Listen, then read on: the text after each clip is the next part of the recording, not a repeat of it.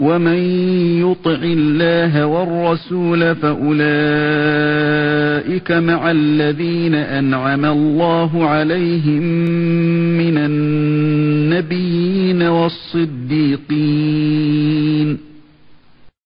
والصديقين والشهداء والصالحين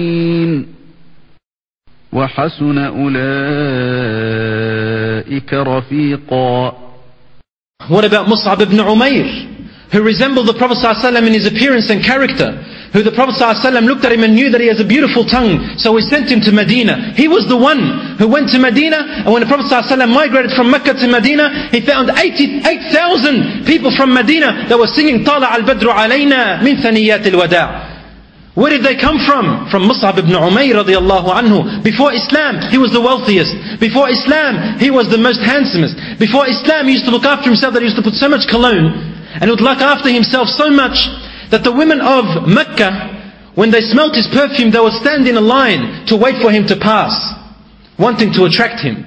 Yes, this was Mus'ab ibn Umayr radiallahu anhu. When he embraced Islam, he donated everything he had of his wealth in the cause of those who are more in need.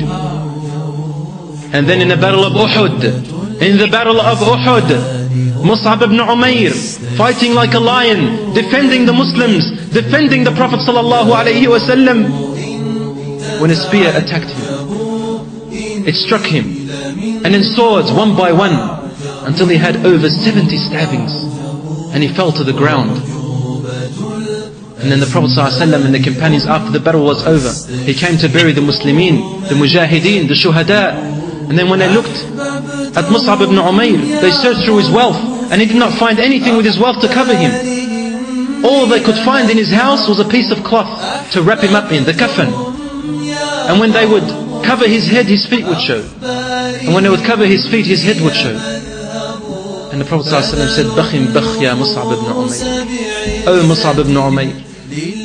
We did not find anything of the wealth just to cover your whole body and bury you in. You donated it all for those who were in need.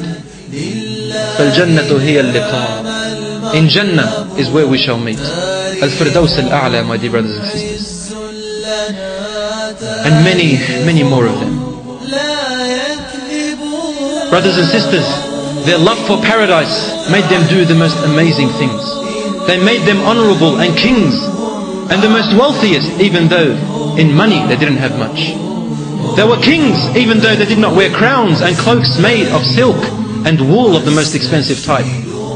They were kings and honorable and happy even though they did not have what normal people anticipate for and think of it to be happiness. Naam, their sadness disappeared when they knew their lost ones made it to paradise. If someone died from their family, it was enough for them, for their sadness to go away when they knew that they had ended up in paradise.